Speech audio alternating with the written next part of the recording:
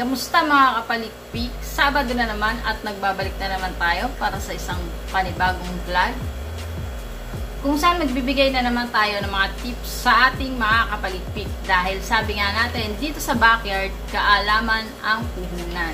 So yon ang pag-uusapan natin ngayon ay kung ano nga ba yung mga nagiging common mistake natin sa pagbibreed. Kung bakit hindi nagtutuloy yung mga binibreed natin na isda. Yun, yun yung um, itatakil natin ngayon. At syempre, bibigyan na rin natin ng konting tips kung paano masusolusyonan yung mga ganitong problema. Pero bago yon syempre, kung hindi ka pa nakasubscribe, mag-subscribe ka na at like mo na rin tong video na to kung magugustuhan mo at click the bell icon para lagi kang nanonotify tuwing may bago tayong video. At syempre, like nyo na rin ang ating FB page, Backyard Water Shop.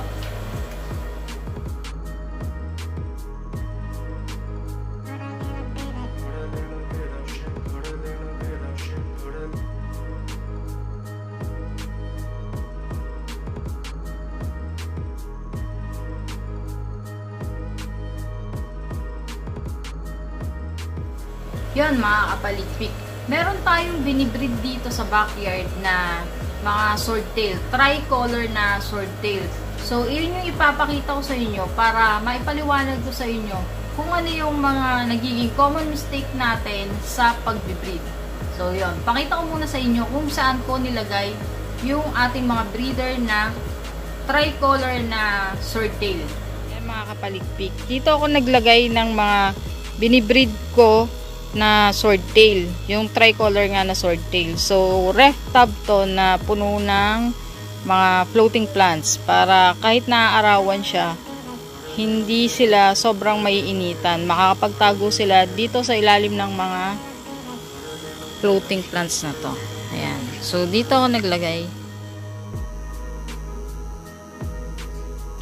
So, ayan guys. Dito ko nilagay yung mga binibreed natin na mga swordtail na tricolor. Ayan. Medyo mailap sila.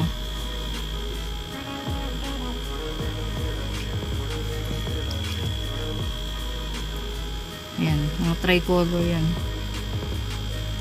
Kung mapapansin nyo, meron na ding mga ibang mga buntis dyan. Ayan. Yun mga kapalikpik. So, yung pinakita ko sa inyo kanina is yung mga breeder natin ng mga swordtail na tricolor. Yun yung mga breeder natin. Ang pinaglagyan ko ay ref tab, yung pinakita ko nga sa, sa inyo kanina, na puno ng floating plants sa ibabaw. Kasi nga, um, outdoor siya. So, kailangan meron tayong floating plants para hindi sila mainitan kung sakali man na sobrang in, sobrang init ng araw. Yun yung magiging protection nila doon. So, meron tayo dong mga um, 15 pieces na swordtail, bali 10 female at 5 male.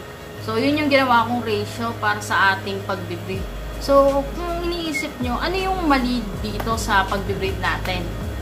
So, yun na nga. Yun yung i-explain natin, no?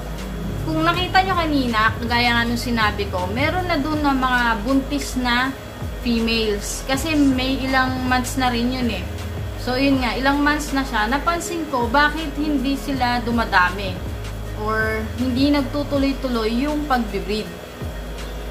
So, minsan, nakakakuha ako ng mga fry, 5 uh, pieces, 6 pieces, ganun lang. Ganun ka konti. As in, ang konti talaga, na dapat ay mas marami pa doon yung nakukuha ko na mga fry.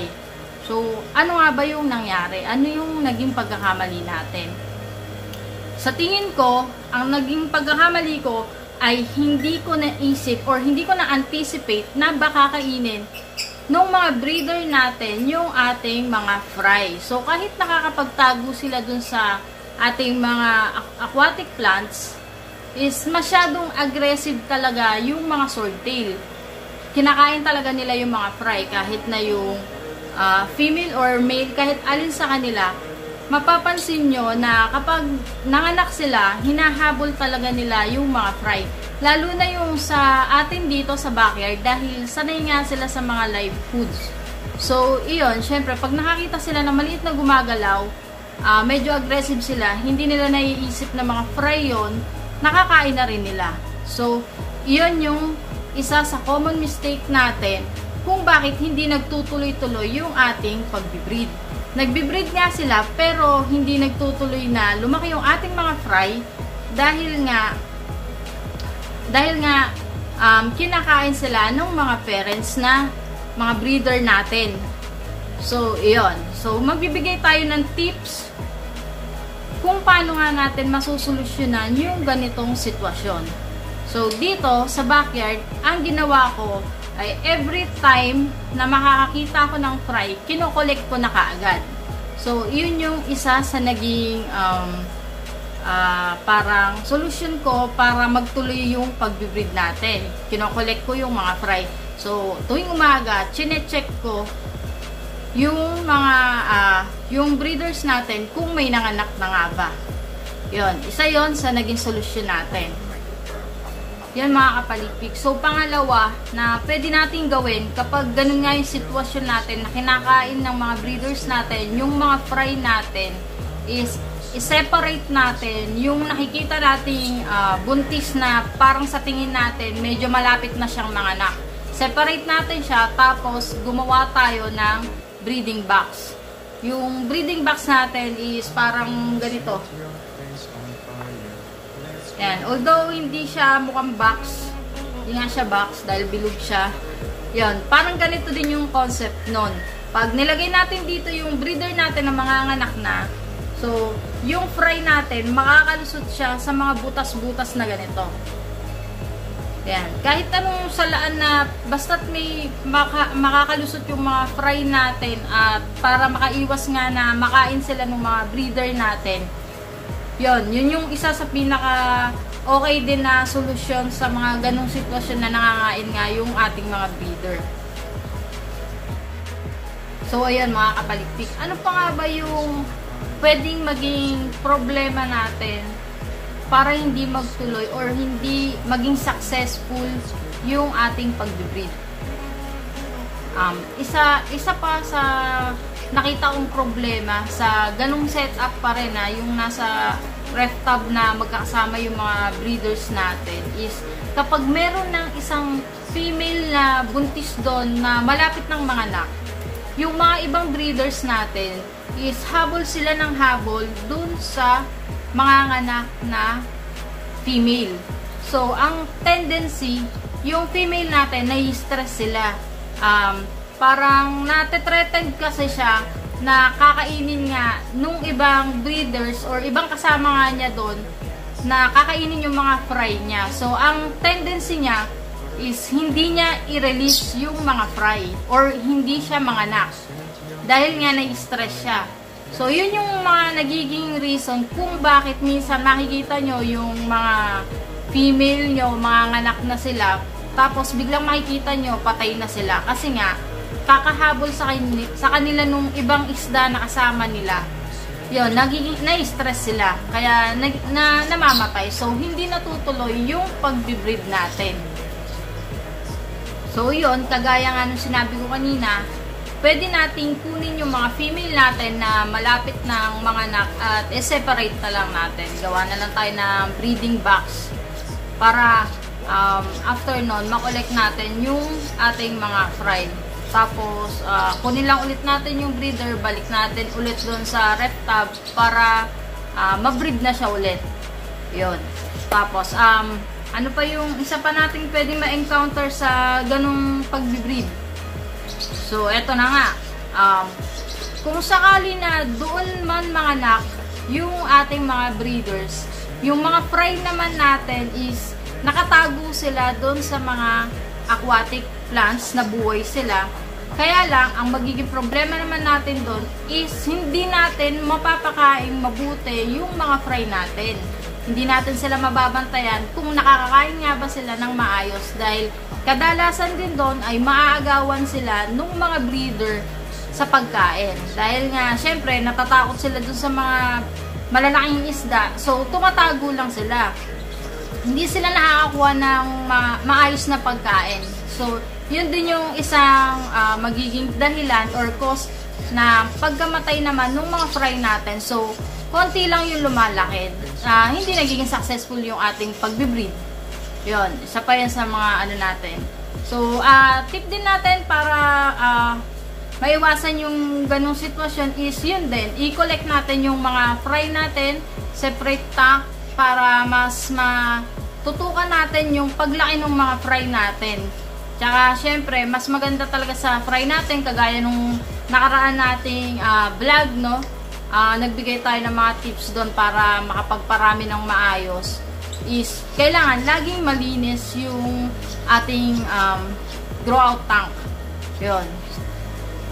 At isa pa na pwede nating ma-encounter sa ganung setup, uh, pwede nating ma-encounter na ano, pagkakamali sa ganung setup na naka-outdoor, ref tub, tapos uh, wala siyang bubong. 'Yon.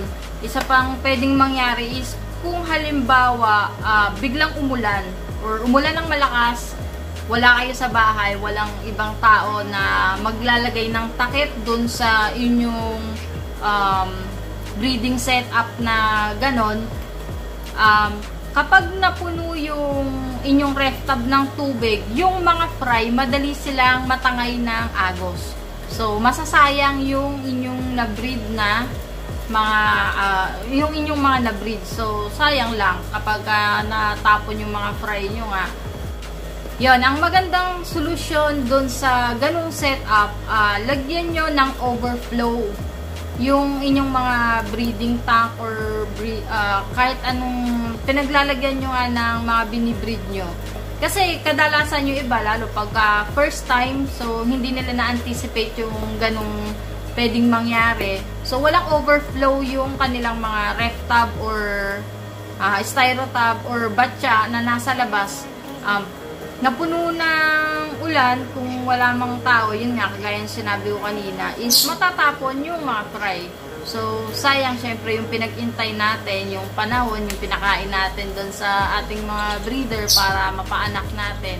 So, yun. Lagyan nyo ng overflow. Tapos, yung overflow nyo, lagyan nyo ng screen para hindi, hindi, um, hindi makalusot yung fry. Yung medyo pino para hindi matangay yung fry natin, no? So, yun mga kapalikpik, sa tingin ko na sabi ko na yung mga uh, um, pwede nating ma-encounter na problema kung bakit nga ba nagkakaroon, nagkakaroon ng failure or hindi nagsasucess yung ating mga uh, pagbibreed. Hindi sila nagtutuloy-tuloy. So, una nga, yun, nakakain yung fry. Um, pangalawa, um, hinahabol nga yung yung mga parents na stress sila na mamatay.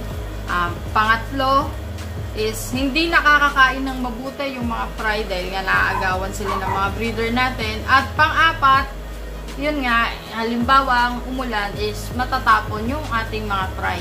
Masasayang. So, yun. Kita-kits ulit tayo next Saturday, mga kapalikpik, para sa panibagong mga tips at mga ituturo pa namin sa inyo. At again, kung hindi ka pa nakasubscribe, mag-subscribe ka na at syempre, like mo na rin tong video ito kung nagustuhan mo at may natutunan ka.